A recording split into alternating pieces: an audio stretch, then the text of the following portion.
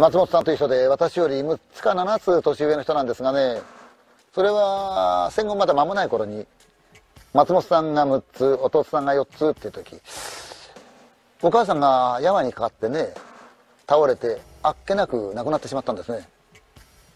となると幼い兄弟残されてお父さんにしてみれば仕事はある家事はある育児もしなきゃならない。これとても手が回ったもんじゃないわけだ。それにこの子供たちまだ母親を恋しがる年頃なもんですからね周囲がね再婚した方がいいんじゃないか。虫添えをもらいなさいよって勧めがあったわけですよね。で世話する人があってお母さんがやってきたわけだ。新しいお母さんですから世間でいうところのママ母ですよね。ママ母って聞くとなんだかこのママ子をいじめるね。一度丸いそのイメージというかそれがあるんですがこのお母さん優しい人で2人のことをとても面倒を見てくれたそうなんですがね。それはお母さんがこの家へ来て一月ほど経った頃なんですが夜寝ているとねこの松本さんがふっと目が覚めた。天井には就寝用のちっちゃな豆電気がついてその辺りだけふーっとこう照らしてる。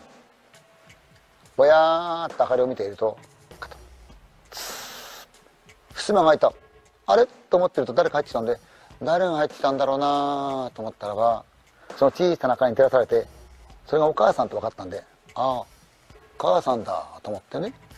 で薄めでもってこう見てたてと自分の方へ来て布団を直してくれた。今度は弟の方へ行って弟が手を出して寝てるもんですからその手を布団の中にしまった。そして弟の寝ている布団の横にペチョンと座るとその弟の寝顔をじーっと見つめてる。とそのうちにこの弟の方が何かの気配感じるんでしょうね。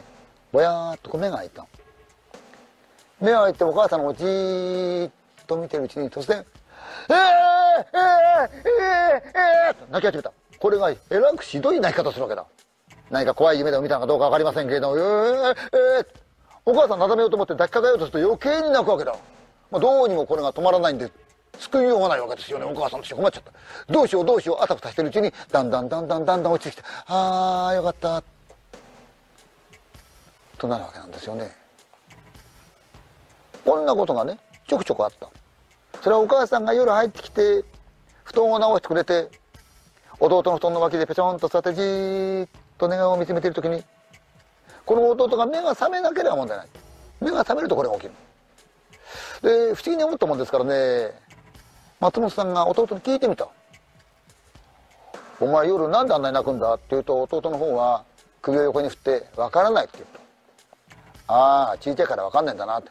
やっぱり怖い夢見たんだなとそう思ってたんですね。この弟が小学校へ上がる頃になるともうお母さんは夜部屋に布団を直しに来なくなったそうですよ。やがて年月が経ってったわけだ。そして2人も大人になって社会人になって。で結婚をして子供ができてと。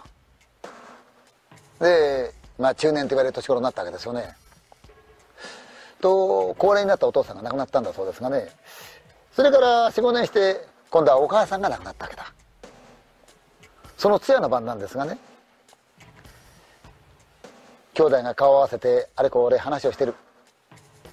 昔話をしながらその頃を懐かしんでるとふっと松本さんが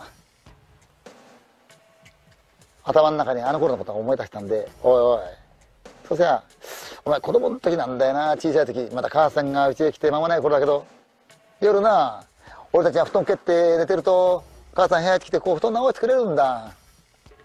ああ母さんいつもそうしてくれてるんだなと俺思ってたんだけど。でお前のところ直していくだろ？と布団を直した後お前の布団の横にぺちょんと座ってじーっとお前の顔を見つめてるんだ。その時になお前がふっと目が開くんだよ。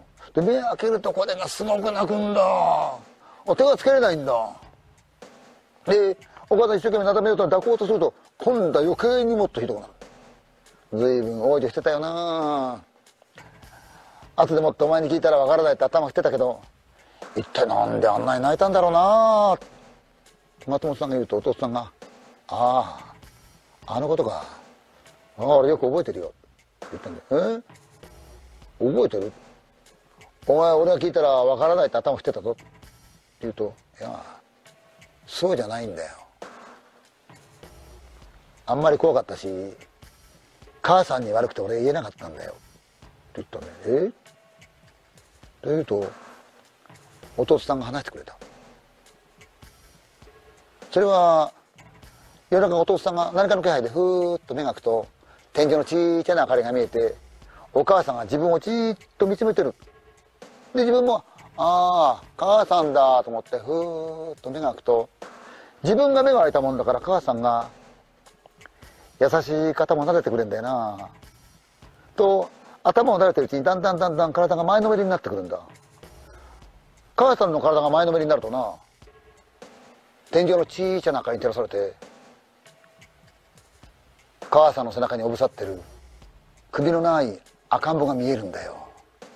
それが怖くて泣いたんだよ。って言ったんで、え？って言うと、話をそばで聞いていたお父さんの妹ですから、まあ二人にとっておばさんですよね、この人が。あ、そう。そんなことがあったの。このうちのお母さんでしたね、この家来る前に一度結婚してんのよ。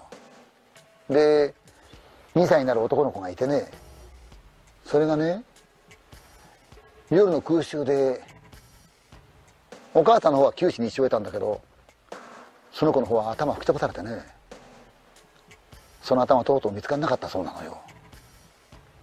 で、旦那さんの方も戦死して一人になったもんだから、人のすねがあってね、この家にこさえてきたのよ。弟なんとをじーっと見てたというのはきっと、その死んだ自分の子供のことを思い出してたんじゃないかしらね。でね、お母さんにおぶさっていた、その頭のない赤ん坊、多分亡くなった、その子だったんじゃないかしらね、と話してくれたそうですよ。